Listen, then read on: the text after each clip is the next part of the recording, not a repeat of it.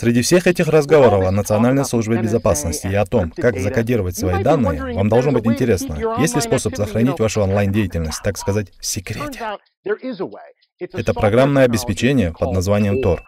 Тор расшифровывается как луковый маршрутизатор. Почему именно луковый? Потому этот овощ состоит из множества слоев. Тор — это бесплатная программа, которую вы можете скачать на свой персональный компьютер или смартфон, и которая сделает ваши данные анонимными. Как она это делает? Ну, примерно так. Она берет ваши данные и раскидывает их по нескольким узлам данным по всему миру. И эти узлы владеют только лишь одной информацией, куда дальше передать ваши данные. И таким образом, ни один человек или секретная служба не могут определить, откуда данные пришли или куда они направляются. В настоящее время Тор использует около 4 миллионов человек. Раскидывание всех этих данных по миру существенно снижает скорость. И еще, Тор не сравнится с флеш-плеером, и поэтому смотреть с помощью Тора онлайн-видео в высоком качестве сложная или вообще невыполнимая задача. Тор буквально сводит с ума службы национальной безопасности, потому она великолепно маскирует ваши онлайн-данные. И кого служба национальной безопасности должна поблагодарить за разработку этой супер эффективной программы для маскировки данных, ну, вообще-то ее придумали в военно-морском флоте США. Оказалось, что большая часть средств на ее разработку поступила из военного флота, Госдепартамента и Пентагона. Это потому, что люди могут использовать Тор для различных благородных целей. Она используется частными адвокатами, диссидентами, журналистами и другими. Однако анонимность может понадобиться категориям граждан с далеко не праведными намерениями. И поэтому в число пользователей Тора входят наркодилеры и террористы. Довольно-таки жесткая компания.